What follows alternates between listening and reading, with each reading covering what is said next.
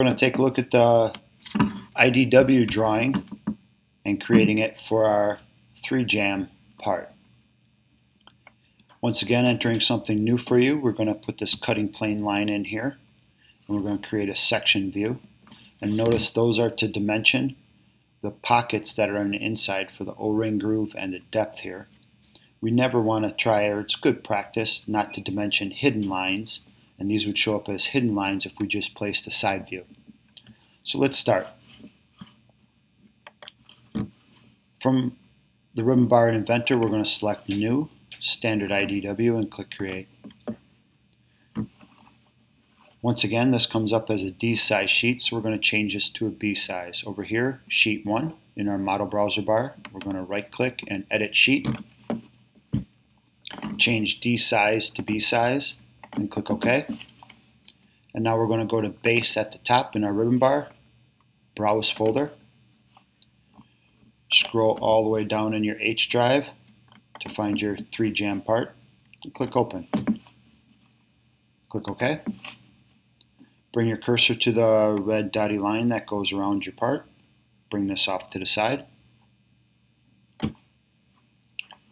Then we're going to take, zoom in on this just a little bit so that we can have a better identification. I'm going to do section view from the ribbon bar at the top, section view.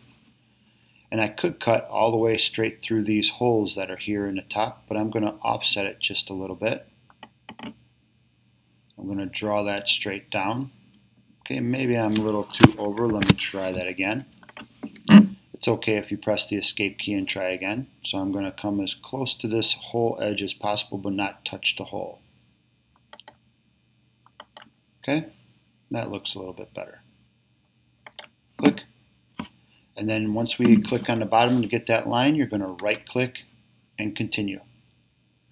Remember, to get right click to get this continue to pop up, you probably need to switch from your pointer tool to the mouse tool to get that right click option. Okay, zooming back out, there's my section view. I'm going to bring it off to the side and click. Okay, that gives me my section. That wasn't too hard. Next, I'm going to take that pictorial isometric view up here, and that's using projected. So when I click projected, I don't have anything attached to my mouse. I'm going to come to my main part here, my front view, click, and now I have that pictorial isometric. I'm going to place off here to the side. Once again, right click and create. Let's organize this on here a little bit better. There, that's much better. Happy with that. Then we're going to come over to our Annotate tab. And you are going to take and place these dimensions on here in the same spot or kind of the same spot that I have them. The note and techniques learned you do not have to add. Okay, so going back, I'm going to identify a couple of things on here.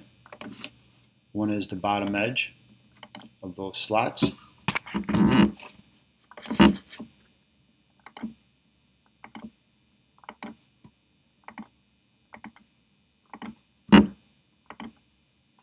Okay, and all of these you can just take time and place them in. Everything that we had dimensioned on that PDF, you're going to dimension as well.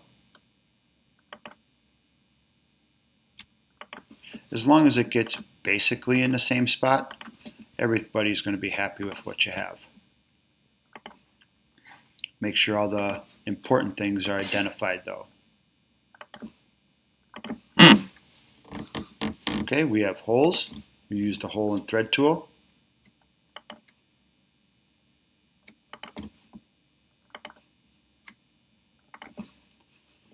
If you have circles, we're going to use the dimension tool.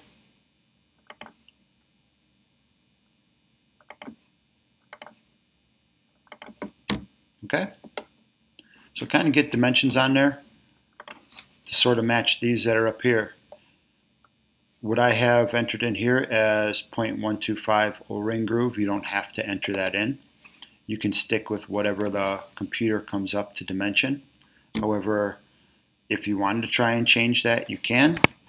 All I did was click on that part, put my cursor in front, and then you can add dimensions or notations to that dimension as well. Okay, so once you have this finished, you're going to take this standard IDW that sort of matches, doesn't have to be exactly in the right spot as our PDF here. You're going to take and match those dimensions on here, and then you're going to take and save this. Let's show you how to save. We're going to File, orange file in the top left-hand corner, go down to Save As. Make sure this is going into your H drive as always. Click Save. Now to prepare it to turn in, we need it as a PDF. So we're going to go to File, orange file in the top left-hand corner, go down to Export, PDF. Once again, go into your H drive and click Save. That PDF that we just saved or created is the thing that gets turned into Google Classroom. There will be a spot in Google Classroom for three jam part. Please make sure that your screenshot for the CAM tool parts and your standard IDW, this drawing is in there for turning in. Great job on this. We'll uh, look forward to the next part.